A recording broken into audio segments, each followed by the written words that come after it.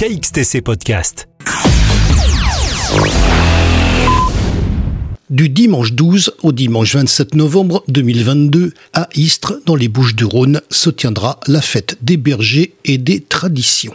Thème 2022, la transmission, avec notamment la journée pastorale, domaine du devin, le dimanche 20 novembre, le repas des bergers le samedi 26 novembre, inscription obligatoire, et le dimanche 27 novembre avec la messe provençale et le défilé de la transhumance. Nous avons demandé à Jean-Claude Louis, président de la fête des bergers, des précisions complémentaires sur cette manifestation. La fête des bergers va démarrer le 12 novembre par un loto qui se passe à Istres dans une salle qui s'appelle La Régalide. S'ensuit une balade pastorale le dimanche 13 où là il faut s'inscrire à l'office du tourisme. Le vendredi 18 novembre nous avons un concert avec le groupe Corse Fiominale à l'église Notre-Dame de Beauvoir. Là c'est pareil, il faut s'inscrire parce qu'on est limité en place.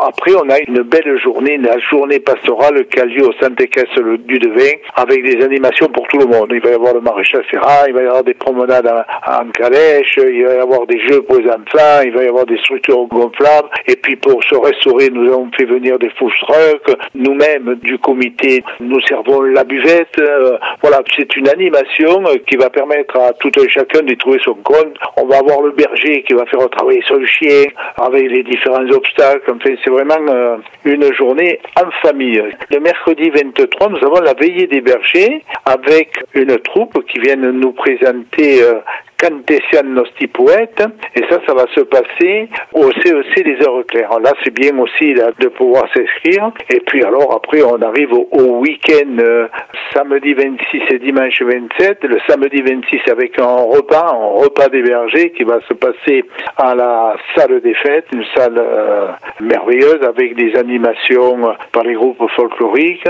Et le repas est à midi, c'est important de le préciser. D'habitude, on le faisait le soir, mais là, pour des raisons X direct, on a avancé le repas au, midi. Le dimanche 27, c'est la journée finale avec une messe provençale sur le domaine de Sulose. Alors ça, c'est à 9h, 9h30, suivi du défilé de la fête des bergers, le défilé qui va démarrer à 14h en centre-ville. Et pour terminer cette 46e fête des bergers, nous avons le spectacle de clôture. Tous ces renseignements, vous pouvez les avoir soit à l'Office du tourisme d'Istres, soit en téléphonant au 06 19 61 71 81.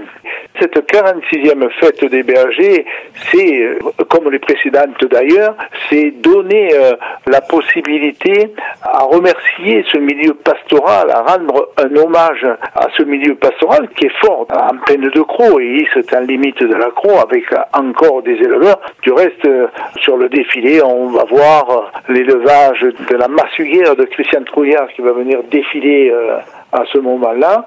C'est un honneur rendre hommage à tous ces éleveurs, les éleveurs locaux de la région et puis d'une façon générale à tous ces bergers, des bergers de la Croix et d'ailleurs cette fête qui existe depuis maintenant. Euh, la première a eu lieu en 1964 et qui avait lieu au moment des transhumances et qui a basculé dans les années 70 euh, en se rapprochant de Noël. C'est pour ça qu'on en est à la 46e fête cette année. KXTC Podcast. Yes.